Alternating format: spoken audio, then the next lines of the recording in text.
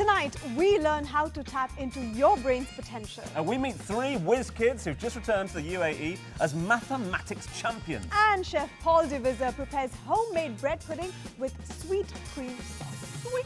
This is Studio One. Feeling festive in Dubai.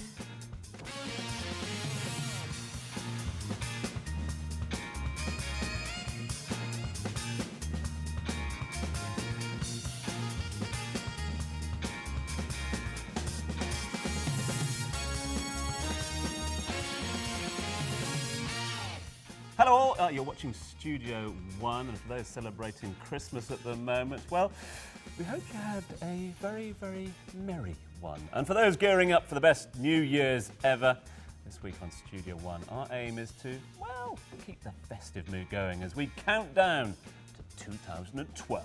Yes, just six more days, and we'll have a whole new year of excitement, hopes, and resolutions. Now, I don't know about you, but every year I make a bunch of resolutions, like at least 10 of them, and I can hardly keep up with any. I'm just so typical. It's worth giving it a go, you know, you know. Yeah. Just past January the 2nd at least, anyway, something like that. Uh, now, we want to know what all of you out there are hoping to achieve in 2012. And of course, you can rely on Studio One to be reminding you about them in the early months and early weeks of January as well, right here on Studio One. Yes, and by now we're pretty sure that you know how to get in touch with us, but just in case you forgot, here's how. Studio One is here to make you happy. And to make sure that happens, we need your thoughts on the show. Send us an email to studio1 at dmi.ae with your comments. Poke us on Facebook, facebook.com forward slash Studio One Live to tell us you love us. Or perhaps you'd rather tweet. Go to twitter.com forward slash Studio One Live to tell us what you think of tonight's show. Or why not make that call and leave your message on our audience response line that's 056 680 1018. However you choose to do it, just make sure you get in touch because your wishes are our command. Well, maybe.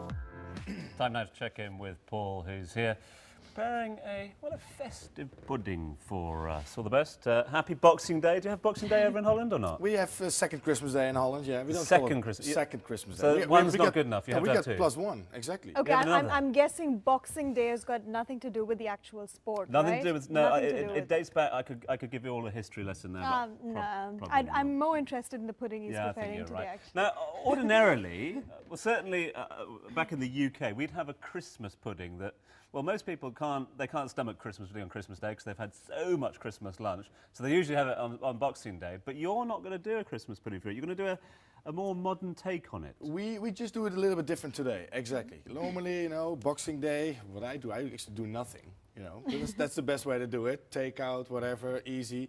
But today we're going to make a nice, fantastic little bread pudding, bread and butter pudding, uh, with some raisins, uh, some apple, cinnamon, vanilla.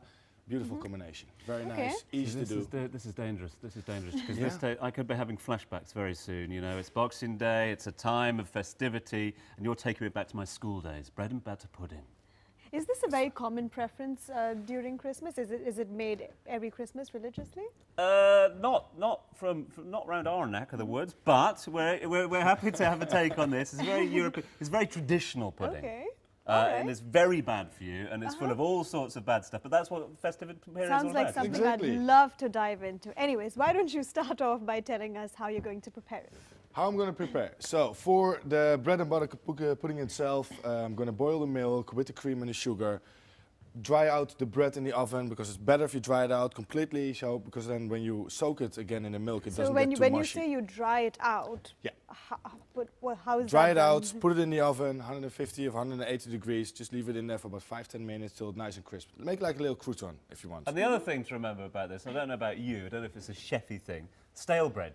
You know how you get loads of stale bread in the Yeah. bread bin that goes off? Perfect for this pudding. Stale bread for the Christmas? best, stale bread. You don't want to use fresh. Stale bread for Old Christmas. bread. It's the way to do it. All right. Leave it outside for three weeks or something okay, like that, then so, use so, it. Okay, so there's the stale bread, the apple, and the rest of the ingredients, and everything goes into the oven. Everything, we mix everything, we boil everything first, then everything goes in the oven, bake it off about uh, 150 degrees for about 40 minutes. Then make the sweet cream sauce with uh, heavy cream sugar. Again, nice, lots of mm-hmm. sugar, very good. Ah. Vanilla, some eggs, fresh eggs, and that one we make here alle minute. And it's a beautiful sweet cream sauce. And you can make your own variety of it mm. because you can add other ingredients in there. But I'll show you the basic ones, so the mm-hmm. one that you can use, and you can do everything with mm. that. And is it always green apple that you use for this one? For this one, yes, because I prefer it. It has a nice, for me, it has a better flavor. It's a little, a little fresher than the other mm-hmm. apples. All I'm right. willing to see. I mean, obviously, ordinarily, I'd have it with custard, but sweet cream sauce? Game Sweet for- cream sauce, game for a custard, change? same, same but different, as they Same say here. Okay, cool. We'll let you get on with that because looking forward to this one. It's just what we need on a day like this, of course. So, Paul, we'll catch up with you throughout the show. The recipe for this delicious bread pudding is available on our Facebook page. That's facebook.com forward slash Studio One Live. Now, time for a break, but we will be back to talk neuroscience and learn more about the untapped potential of the brain. And later, we'll be meeting three mathematical whiz kids who've returned to the UAE as the world champions. See you in a few.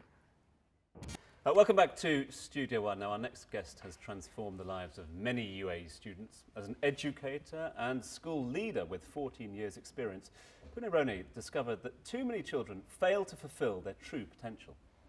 Now, through her Brain and Learning Center, she helps people to address both their learning problems and tap into their, their learning potential. Pune is here, of course, to tell us more about it. Pune, thank you so much for joining us. Uh, thank you for having me. I mean, it is the holiday season, but we should not let the kids forget about the academics, of course. No, definitely not. All right, so why don't you start off by telling us what your center offers? Um, as a teacher, I used to teach secondary school mathematics, and I, every year I had students who were very, very good at maths and others who really hated it. They fell into two distinct categories. I would fall into the second. Yeah, and I, felt, and I felt like people are almost proud to tell me that they're not necessarily good at maths, and we accepted that. We put them in that pigeonhole when we accepted that was the case. Um, but I felt that there was more to be done, and one of the things I did is I tried to find out more about what neuroscience said about our potential and what we can do to increase that. Um, so I did a course at Harvard which was looking at bringing the neuroscience into the classroom and uh, affecting learners. And a direct result of that was setting up my center, the Brain and Learning here in Dubai. And we do brain training, which is basically doing one-to-one intensive and targeted exercises, a bit like uh, a personal trainer would do with you in the gym to try and get you fit. We do that to make the brain of students fit. So we start by doing an assessment to find out where the weaknesses lie and really address those. But in terms of the students that, uh, that, that, that you teach, that you train, etc., are these all students with learning difficulties? Is that, is that, is, is that part of the They criteria? fall, I think, into two main categories. Some who come to us with a specific diagnosis, so they may be dyslexic or they have dyscalculia or have um, ADHD or pro- problems with their attention. Um, and others where the parents and their teachers feel that they're falling in a category that they're not reaching their full, full potential. Sometimes parents say, oh, my child's just a bit lazy. Yeah. Maybe they're not doing the best they can. And almost certainly, there is always a reason why a child procrastinates, they're putting off their schoolwork or not doing their best. And that usually is because of underlying cognitive difficulties. I'm a little interested to know about this assessment Mm-hmm. process. How do you diagnose what the problem really is? I'm actually not qualified to make a diagnosis, but basically the program that we have is a research-based program uh, that's from the US. It's designed by Dr. Ken Gibson. And the test that we use is called the Gibson test. It looks at the seven key areas that make up intelligence. Uh, we, we call it a screener, so it's not set in stone, but it gives us a very good idea of where the difficulties may be. Um, it's done on a computer, so we say to the parents to sell it to children as um, a- some fun brain exercises rather than an assessment so that they can come and truly engage and show where their um, strengths and weaknesses lie. And when you say uh, you train them, what sort of uh, training is it? I mean, it's it's So the, uh, the, altogether there are 24 different exercises we use. So if you imagine like you go to the gym and there are lots of different machines and each of them does different things. So for example, one does your biceps, one does your triceps. Depending on go- your goals about fitness and what your problem areas are, you would use different ones to achieve a goal. We pretty much do the same thing. So for example, a lot of the exercises that we do one-to-one with the students may be focusing on improving their attention and concentration, or maybe they're helping uh, improve their working memory or the way they handle the sounds, which is what they need for reading ability and spelling. So it depends on what the child's difficulties are. And then we do these um, exercises. And the way we create change is by creating a mental sweat. So it's very similar to being in the gym and getting to that uh, feeling that you're really sweating it out. We want them to have in the hour that they're with us reach a point of mental sweat, and that's how their brain starts rewiring itself permanently. You mentioned uh, about Dr. Ken Gibson, uh, mm -hmm. a copy of his book, uh, of course, that you've brought in. If you'd like to find out more about this, some more practical advice, then of course you can get mm. on to the Brain and Learning website, brainandlearning.com, to find out more. Uh, but equally, uh, I mean, tell us about what the sort of practical advice for parents out there who think that maybe their child has a learning difficulty? Are there things that they can do at home to help boost yeah, brain power? Definitely, there are specific things that we all can do to, brain, uh, to boost brain power. But have, if you're trying to overcome a very specific learning difficulty, unfortunately, at the moment, the only thing that can be done is really to do equivalent of brain training exercises that are intensive and targeting that problem area.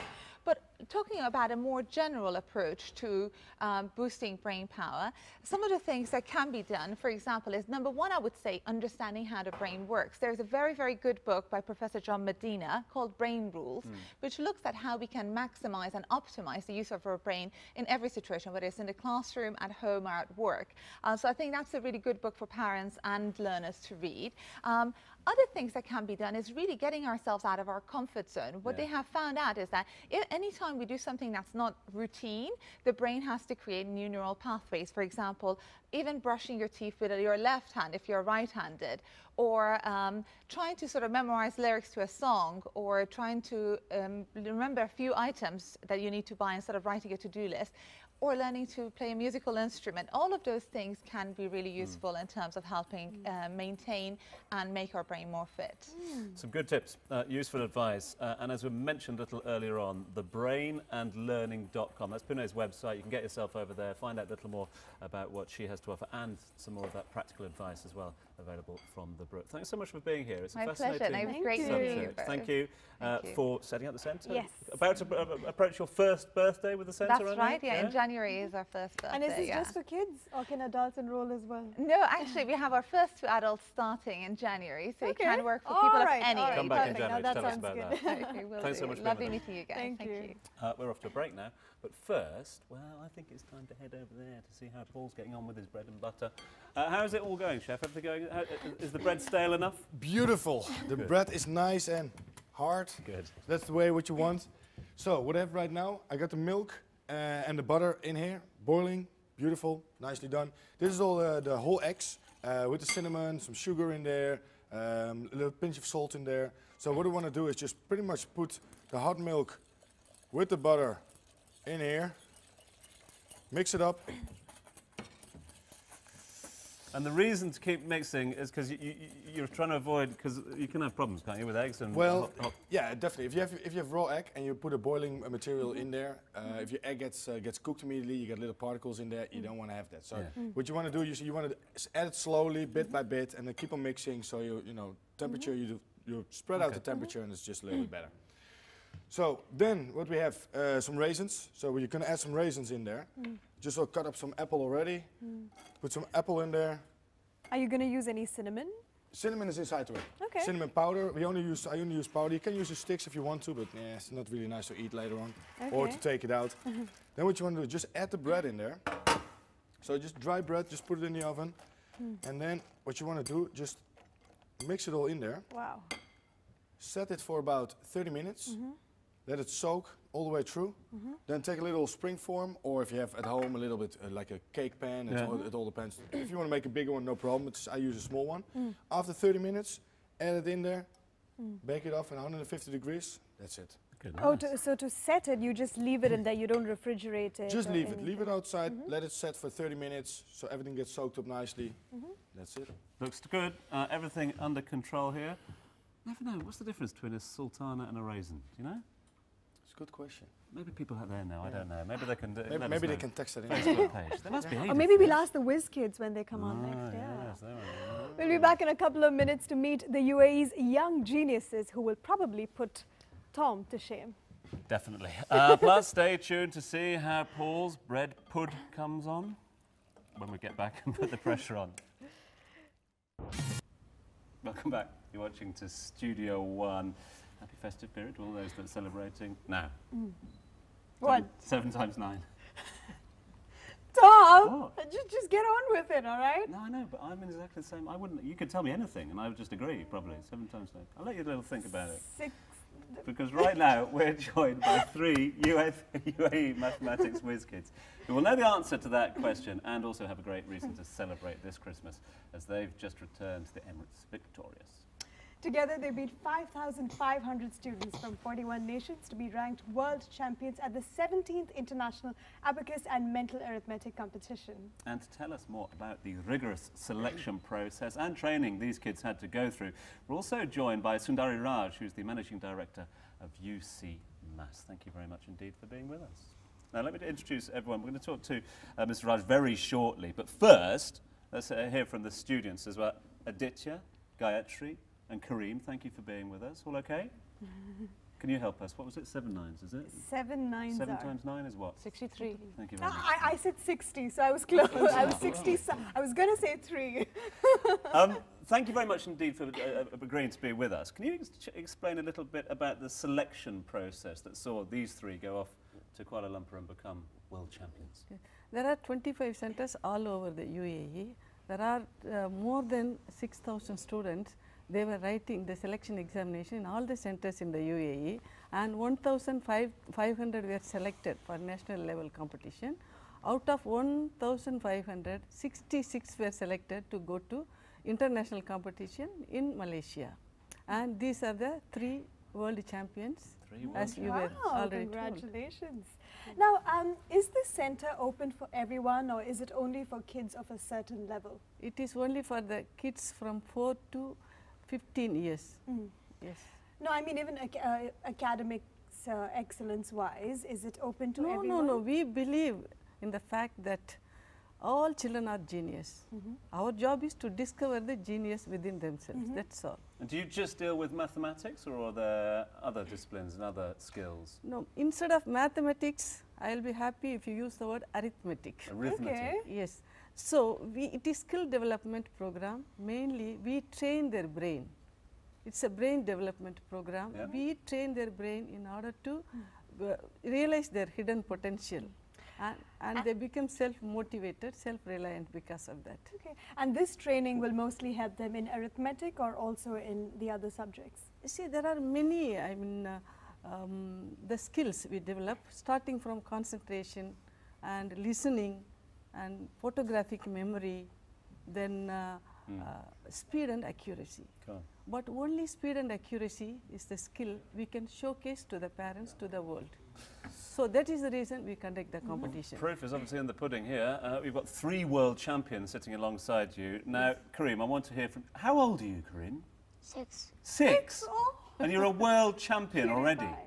Purify. A world champion, the best at maths in the whole wide world. Do you, do, you're six feel, years do you feel proud? Do you feel happy that you're a champion? Yeah? You feel good? Yeah? What was the trip like? Did you enjoy being over in Kuala Lumpur? Was it good fun? Yes. Good. He's so cute. Gayatri sitting alongside. How old are you, Gayatri? I'm 13. 13, another world champion. And what was the experience like travelling with friends over to Kuala Lumpur? It was different and new. As I traveled unaccompanied, it was a new challenge for me. I got to meet many other kids. So, it was, yeah, on the whole, it was nice.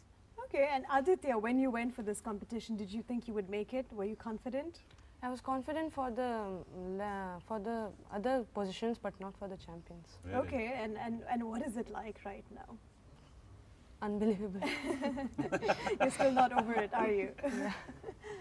What's the reaction been like since returning here to the UAE? Obviously, you're here on Studio One. What's it, what have your friends been saying to you there? Uh, you are famous. Famous now. Especially after this show, you definitely are, my friend.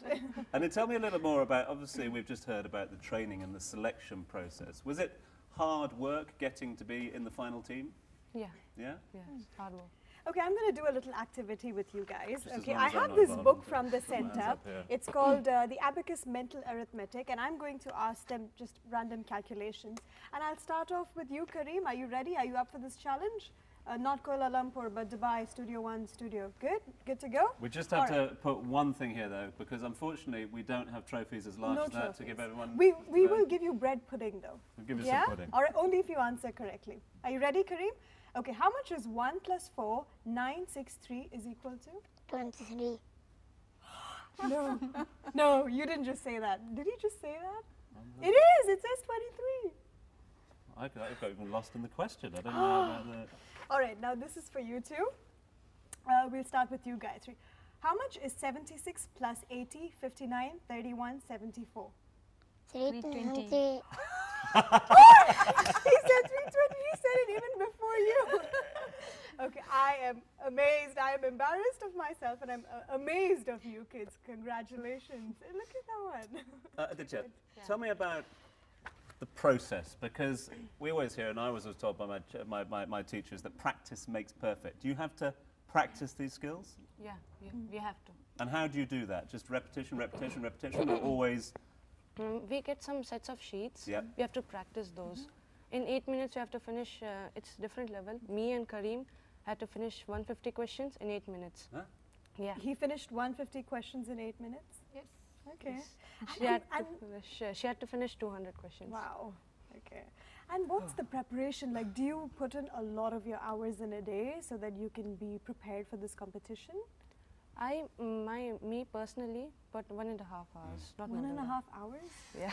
Now, obviously, you are the world champions. You've got the trophies to prove it as well. What's next then? When's the next big competition, and how can people find out more about enrolling themselves? We have national competition normally at the end of October or November first week every year. Okay. Before that, we do selection process. But the international competition will be definitely in December every year. December every year. Okay, so if people want to find out a little more about the courses, about uh, the training, then get yourself onto the website. It's ucmasuae.com. That's ucmasuae.com. And I mean, is there any point, Ash and I, Uh, enrolling- any point Tom, you shouldn't you shouldn't have asked that question in the is there first any place. point at all? There any hope for us at all? No, or no, no, no, not at all, not at all. See, Okay. the brain develops uh, from the age of 4 Oh, over to 12, maximum uh, 16. So there's no Above hope. That, above no. that, no, sir. So that means we have There no is no chance, basically. We, There is I no talk hope. about development. All right. Growth is there for everybody. Okay. Brain development takes place up to this maximum 80 percent. Most people. Guys, thanks so much indeed for being with us. Thank you for Thank uh, you. You're uh, being with us on the sofa. And congratulations on being world champions. Yes. And Well stay back all for some bread pudding because you got all the answers right. Pudding time. Chef Paul has 60 seconds left. What I've done for now is when you bake the, the bread pudding, you just finish it off. So what you want to do, is you just put it in at, at home, you put it even in the microwave for about 30 seconds or you just put it in the oven 100 degrees just to heat it up because when it's warm it's just better to eat. So that's nice and warm. That one we put right there. Then for the sweet cream, what I've done is I put the eggs inside, put the sugar, everything in there, mix it with the eggs and again slowly put it back on the fire. Uh, what you want to do is you want to make sure that when you make it, everything you get a straight line with your spatula. So that means that all your eggs are cooked properly, but not too far, so you get all the pieces in there. 20 seconds, Chef. 20 seconds, fantastic. So throw it in the strainer. Everything you see, there's no pieces in there, everything is good. So that's it. And then what you want to do, take a spoon, Ooh, and then that nice, and nice. warm. That's it. There we go. Time is up. Bread that- pudding, sweet cream sauce. That is a Paul Devisa special. Look at that. You could not. Thank you very much indeed. All these childhood memories come running back now. Now, As I get stuck now before into we before we taste that chef Paul, how much is five times five? 25. Not bad. Not bad, eh? Should have asked a tougher one. Tom, why don't you go next? No, it's good. really good. That that is worthy of the of the of the gri- of the festive period. It's holidays, and that is a holiday. Is, is that a Boxing Day dessert or is that a Boxing Day dessert? problem is, That is a smashing dessert. That's all I know. problem is, I think we're going to need a few more spoons actually, um, because there's a lot to go around. But um, that is a very very good pudding, and I'm not a pudding man, so thank you very much. Uh, that's it for tonight. Check us out tomorrow because we have a fabulous performance from singer-songwriter Gayatri. And in case you're feeling it, we learn how to resolve the holiday blues. Make sure you don't miss that. Uh, join us tomorrow at 7.30. Until then, night night. Come on, guys.